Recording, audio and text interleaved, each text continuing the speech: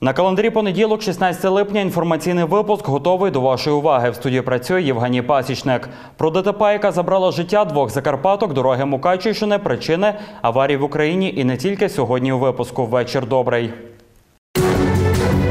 П'яний за кермом в Ужгородському суді обрали запобіжний захід для перечинського чиновника, який забрав життя двох жінок. Планують будівництво. Мукачівка через дії влади не знає, як доїжджатиме до будинку. Дороги Мукачівського району ні пройти, ні проїхати. Етнографічна практика, знайомство з культурою Виноградівщини. Прогнози синоптиків, що чекати від погоди. Бойовики за два тижні більше 300 разів порушили хлібне перемир'я. Про це за результатами зустрічі з командувачем ООС Сергієм Наєвим заявила перший віце-спікер Верховної Ради, уповноважена президента з мирного врегулювання ситуації в Донецькій і Луганській областях Ірина Геращенко. Більше десяти українських воїнів були поранені за ці два тижні. Більше 300 порушень режиму тиші. На Луганщині найгарячішими точками залишаються Кримське і Троїцьке. Стріляють і по золотому, додала Геращенко. Домовленостей про встановлення режиму тиші з 1 липня було досягнуто під час робочої зустрічі контактної групи на переговорах у мінську. Україна є лідером з експорту нелегальної деревини до Євросоюзу, обійшовши країни Латинської Америки, Африки та Південно-Східної Азії разом узяті. Про це йдеться в доповіді британської неурядової організації EarthSight, яка займається вивченням проблем незаконної виробки у світі. За даними організації, за останні 4 роки експорт деревини з України до ЄС зріс на 75%. Наразі на країни співдружності припадає 70% українського експорту. У 2017 році він перевищив мільярд євро. Нагадаємо, нещодавно Верховна Рада ухвалила закон, яким значно посилюється аж до кримінальної відповідальність про контрабанду лісу. Згідно ухваленого закону, винних за контрабанду лісу ув'язнюватимуть. Нафтогаз вимагатиме здійснення транзиту російського газу за європейськими правилами на тристоронніх переговорах щодо транзиту російського газу після 2019 року, які відбудуться у Берліні за участю представників України, Росії та ЄС. Нафтогаз вимагатиме укладання угоди про транзит газу за європейськими правилами. Про це заявив головний комерційний директор Нафтогазу Юрій Вітренко. Він зазначив, що європейські правила транзиту стосуватимуться як тарифів за транзит газу, так і правил попереднього замовлення потужностей української газотранспортної системи російським Газпромом. Нагадаю, що в тристоронніх переговорах пройдуть в Берліні вже завтра, 17 липня. Україну на них представлятиме міністр закордонних справ Павло Клімкін та очільник Нафтогазу Андрій Коболєв. Ужгородський міськрайонний суд сьогодні обрав міру запобіжного заходу голові Перечинської РДА, чиновнику, під колесами автівки якого загинули дві жінки. На момент аварії, нагадаю, чоловік був п'яним за кермом. Про хід судового засідання та чи визнає Віктор Олефір свою провину, дивіться в сюжеті далі. Я свій факт участі в ДТП. Тому що визначені потерпілих і родичів. Викладаюся на адвоката. Свою провину в скоєнні смертельної ДТП 13 липня в Перечині Віктор Олефір визнав у залі суду. Йому обирають запобіжний захід. Позиція прокуратури тримання під вартою на 60 діб без застави.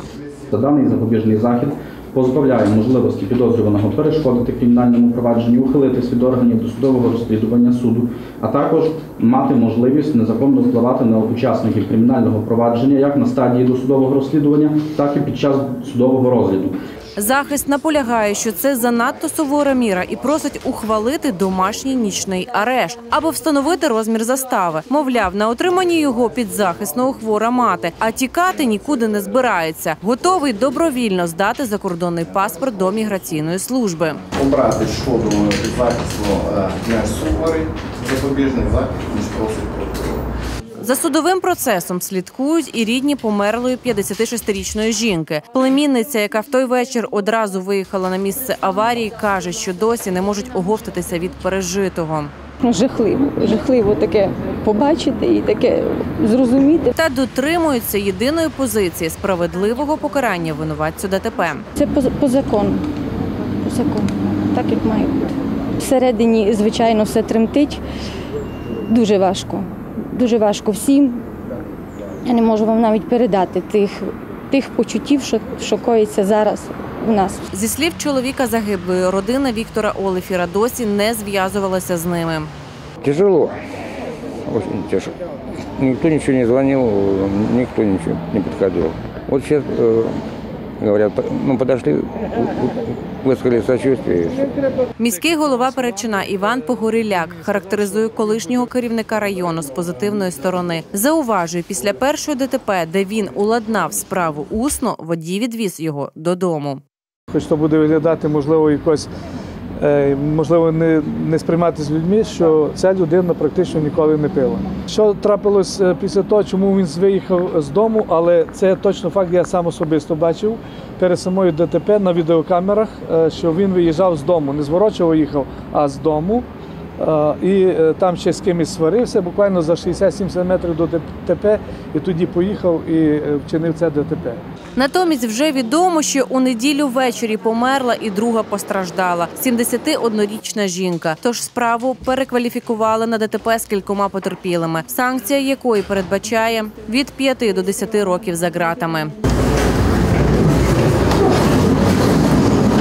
З огляду на важкість та обставини ситуації суд підтримав клопотання прокуратури тримати під вартою два місяці і без застави з можливістю оскаржити рішення у п'ятиденний термін.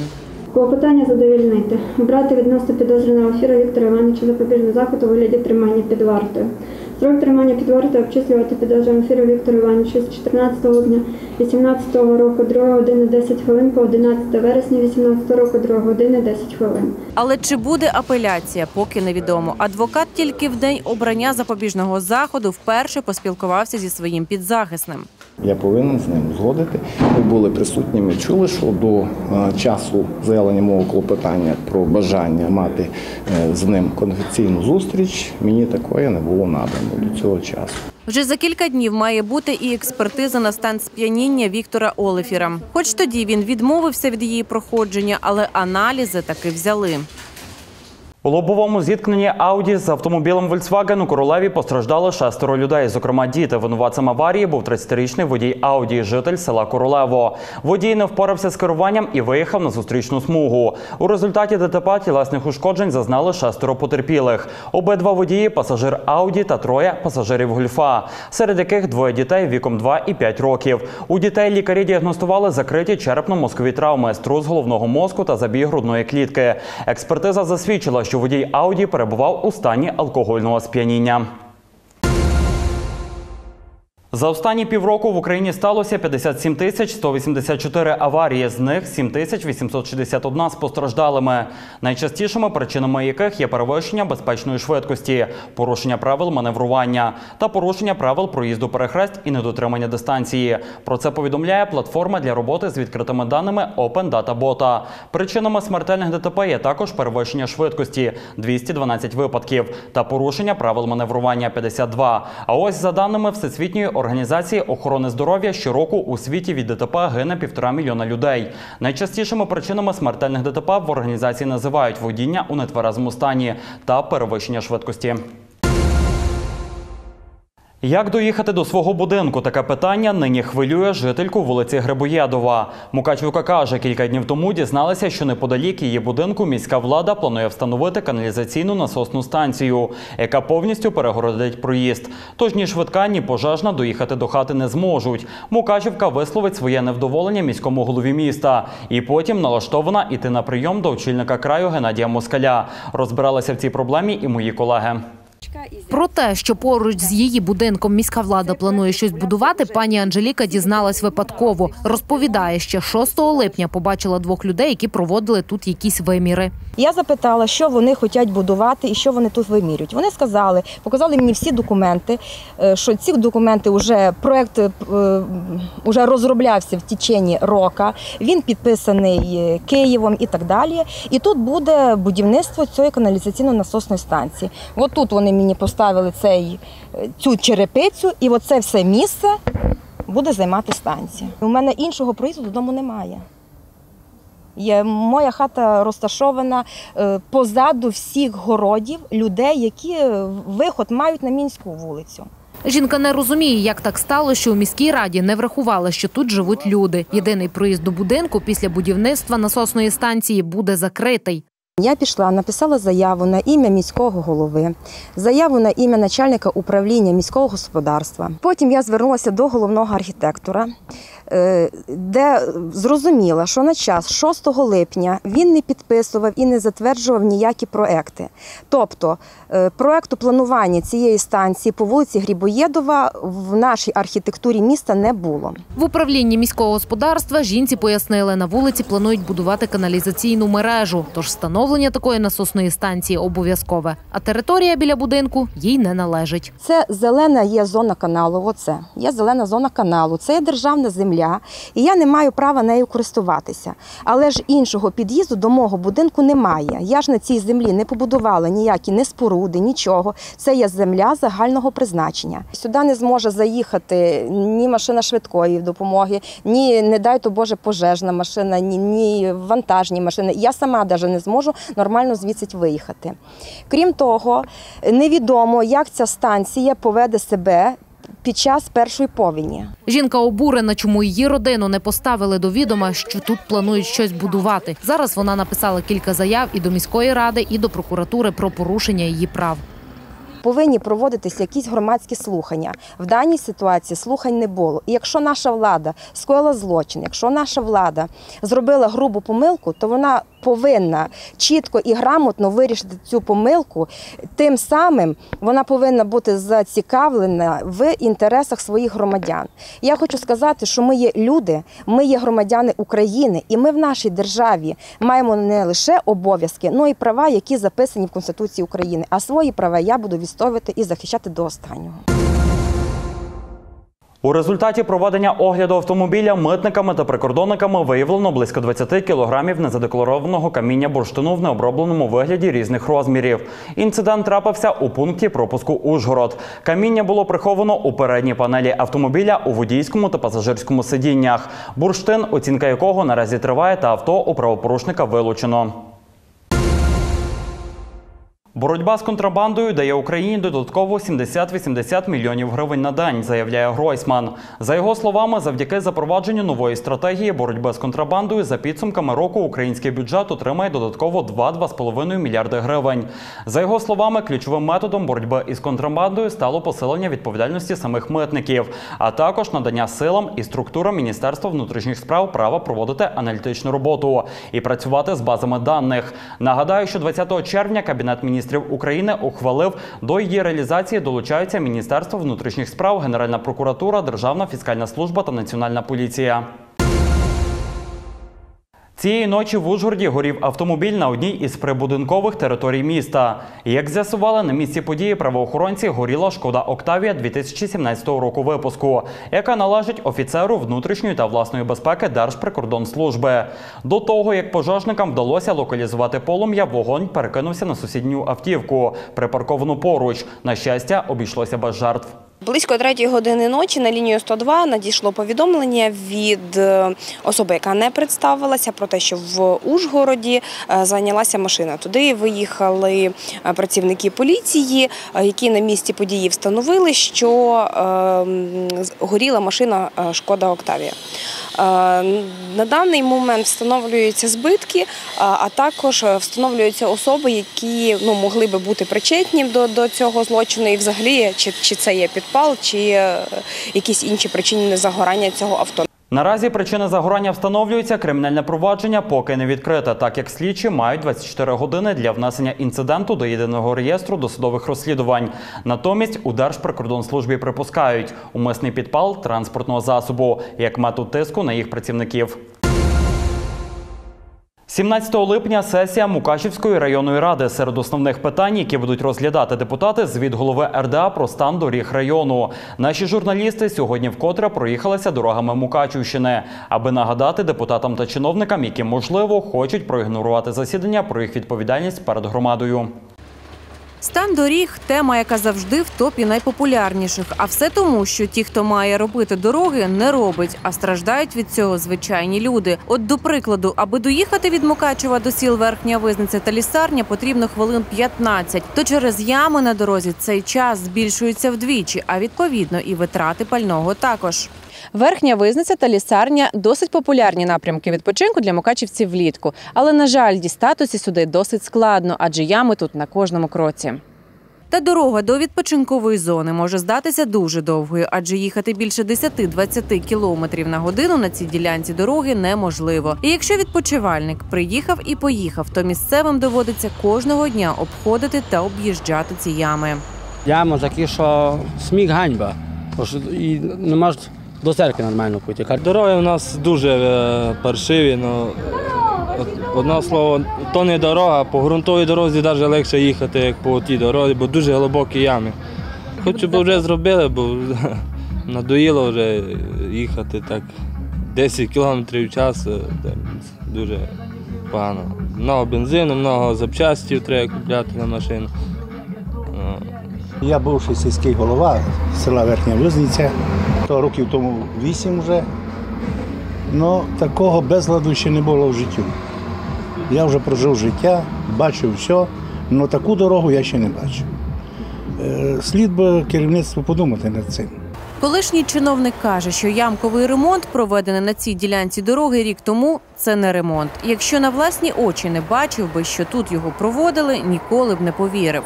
Провели осінню, в жовтні місяці, буквально до весни, дорога стала така, яка була, така й стала. Значить, якості ніякої немає, ніякої якості. Грязь метали, розумієте, закривали грязь і так далі. Я вважав, що якісь би мали бути контролюючі органи, які би над тим дивилися, над процесом їх роботи, що вони роблять. Ну ніхто нічого не робить.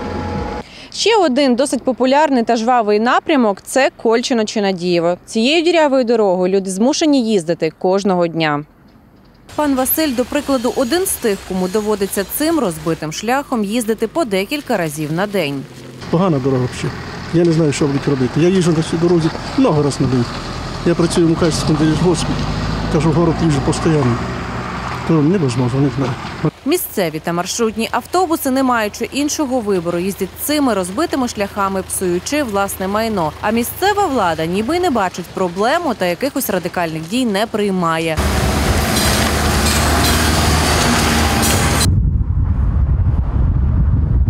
На те, що чиновники звернуть увагу не тільки на дороги, а й на велосипедні доріжки, сподіваються любителі двоколісної їзди. І мова вже йде навіть не про побудову доріжок, а про догляд за вже існуючими.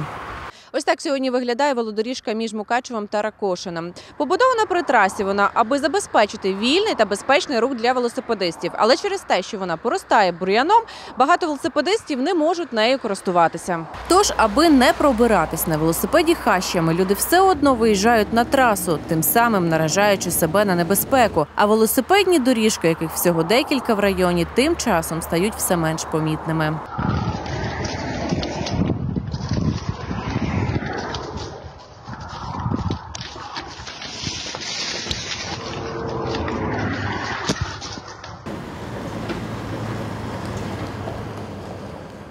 До слова, серед усіх районів дороги Мукачівського в найгіршому стані. Завтра, 17 липня, на сесії Мукачівської райради знову обговорюватимуть питання розбитих доріг Мукачівщини. Тому на розгляд цього питання покладають надію чимало жителів району. Ми обдзвонили депутатів районної ради з різних фракцій, аби почути їхню думку з приводу присутності на сесії, де будуть розглядати важливі питання, серед яких стан доріг Закарпаття. Будемо. Дороги Мукачівщини в поганому стані, не лише Мукачівщини, і цілої Закарпатської області. Думаю, що буду. Що взагалі що вже е, було обговорено, що до кінця червня вже будуть тендери виграні та все, а тут ще й тендерів нема. І коли почнуться ті дороги робити, що ганьбиметься людей. У нас вибирали, а ми ніч не робимо.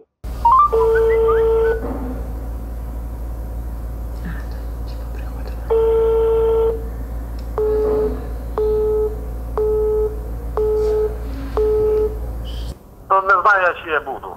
Бо якщо в мене вийде, то я буду, постараюся бути. Ну не знаю чому. Я вам передзвоню.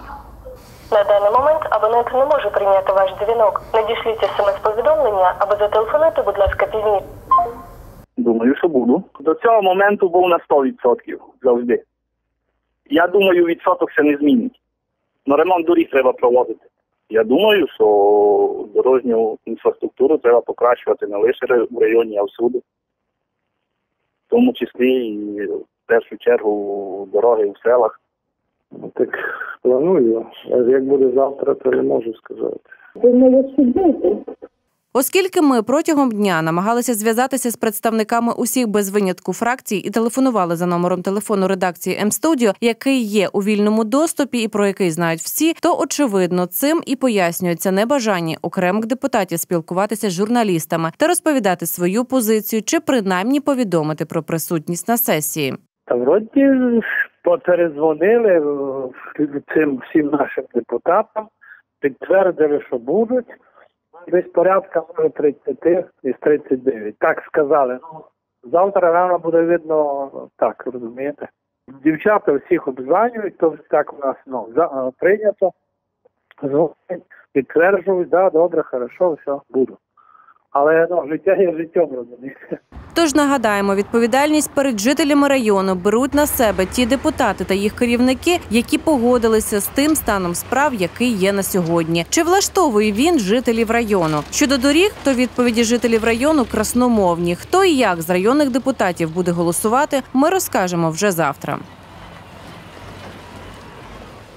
Залізничні квитки дорожчатимуть протягом найближчих трьох років. Вартість зросте удвічі. Про це йдеться у прогнозах соціального та економічного розвитку Кабміну. Протягом 18 та 19 років квитки дорожчатимуть на 25% щорічно, а також ще на третину протягом 2020 та 2021 років. Окрім того, підскочать у ціні і вантажні перевезення. Нагадаю, що у травні Укрзалізниця вже підвищила вартість квитків на 12%. Настільки ж зростуть ціни і до кінця року. У селі Кам'янеця прикордонники зупинили трьох в'єтнамців та 60-річного ужгородця, які намагалися потрапити через державний кордон у Словаччину. Українець-провідник пояснив, що просто вивів іноземців на прогулянку. Йдеться у повідомленні відділу комунікації поліції Закарпатської області. Тепер за такі прогулянки з іноземцями на чоловіка поліція відкрила кримінальне провадження за частиною 2 статті 332 Кримінального кодексу України, тобто організація незаконного переправлення осіб через державний кордон України. В Ужгороді зустрічали призера молодіжного чемпіонату світу з фехтування для візочників. Ужгородець не просто вперше взяв участь у складі збірної у чемпіонаті, а й привіз на батьківщину медалі з трьох дисциплін. Про щасливого чемпіона Максима Магулу розкажуть наші журналісти. Дев'ята ранку за кілька хвилин в Ужгород прибуде київський потяг. На пероні вже людно, однак вирізняється одна компанія з квітами та позитивними емоціями. Чекають чемпіона, призера молодіжного чемпіонату світу з фехтування на візках. В трьох дисциплінах Макс Максим Магула здобув три медалі, тобто майже стопроцентний результат. Одну срібну, дві бронзові. Я думаю, це для нього буде великим стимулом для того, щоб і в складі національної паралімпійської збірної показувати е, результати. В складі збірної України закарпатські спортсмени вперше брали участь в молодіжному чемпіонаті світу з фехтування на візках. Максим Магула змагався за першість у трьох дисциплінах. Однак, якщо фехтування на рапірі та шпазі для хлопця звична справа, то сабля наразі захоплення і, як показав чемпіонат, вдале. На саблі і на е, рапірі він здобув бронзу, а на е, шпазі це основний його вид. е, Він здобув срібро. Це е, виростає мужній, мужній чоловік, гарний, сильний, і ми е, надіємося, що в подальшому він буде е, ще не раз нас радувати своїми результатами.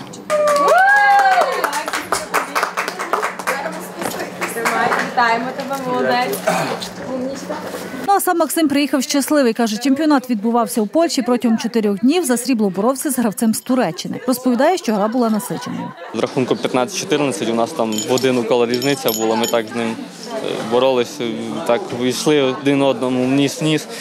І тут і останній укол наніс я виграв. Може, і очікував, але не так багато медалей.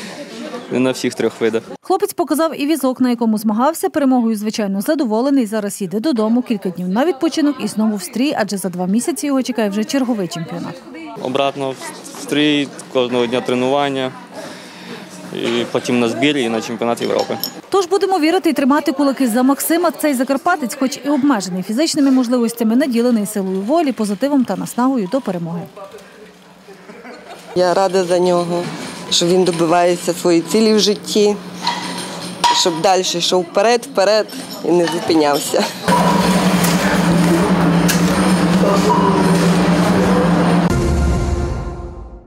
Щороку студенти-історики проходять етнографічну практику, знайомляться з матеріальною і духовною культурою, звичаями та традиціями певного регіону Закарпаття. Цьогоріч молоді науковці досліджують Виноградівщину. Чим цікавий для істориків цей регіон, розкаже Яна Шаршун.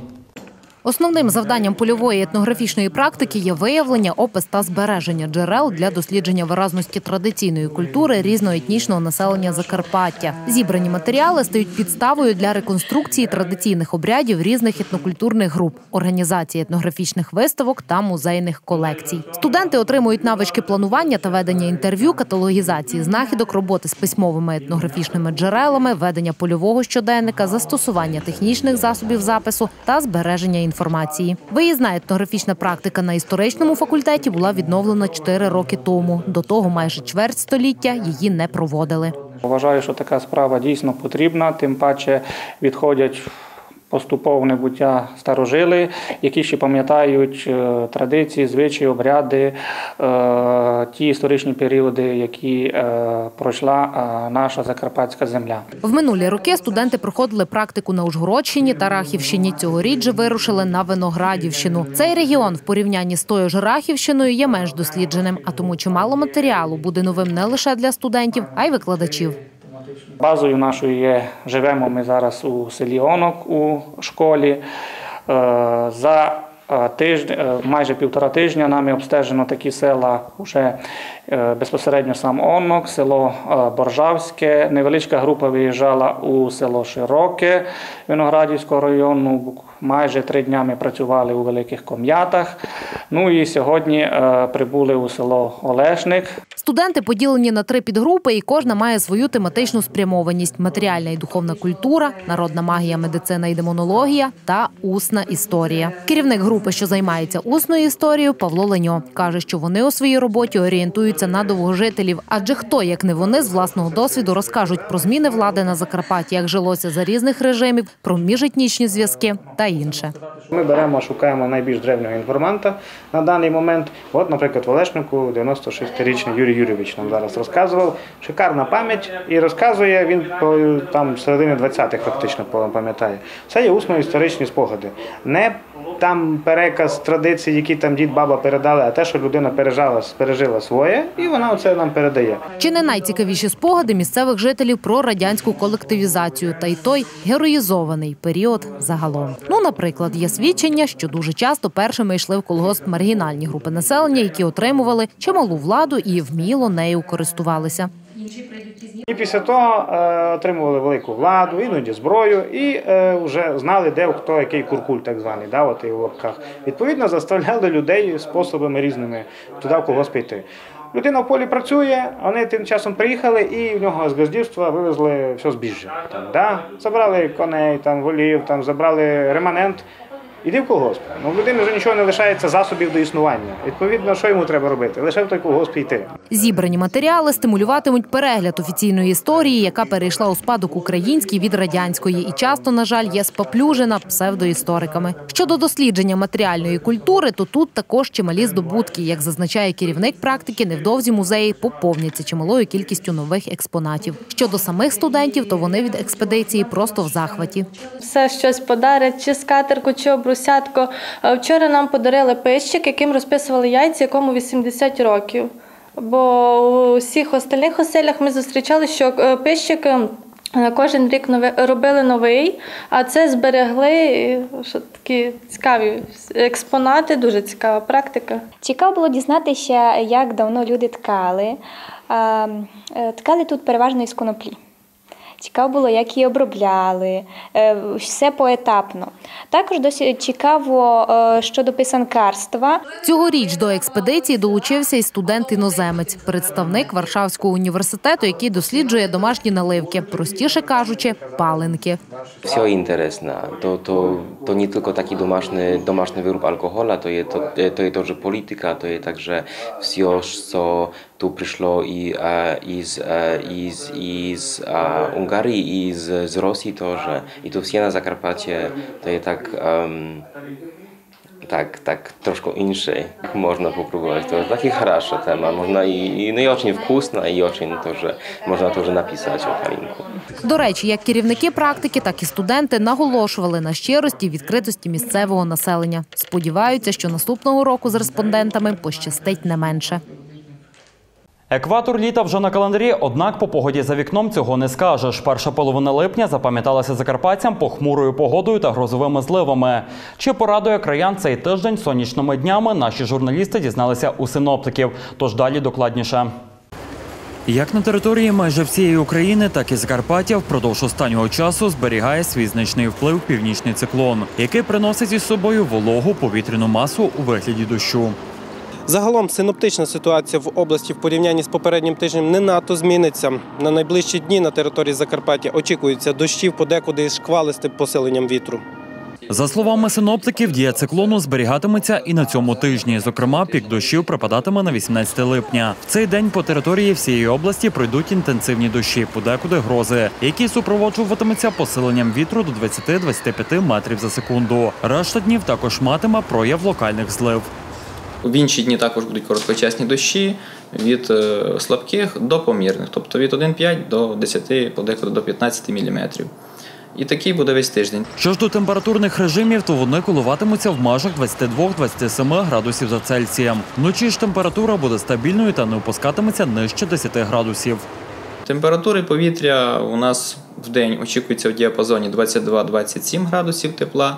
В горах місцями в день подекуди 10-15 градусів тепла, але це переважно високогір'я території нашої області від 1500 метрів та вище. Нічні температури повітря будуть досить одноманітними і протягом тижня коливатимуться в межах від 10 до 15 градусів тепла по всій території області. Що ж до покращення погодних умов, то на них варто сподіватися вже на початку наступного тижня. Синоптики прогнозують сонячні дні без опадів та підняття температури повітря до 28 градусів. Дякую вам за увагу. Бережіть себе та своїх близьких. Пам'ятайте, це дуже важливо. Ми ж із вами зустрінемося вже завтра. Для вас працював Євгеній Пасічник. Бувайте.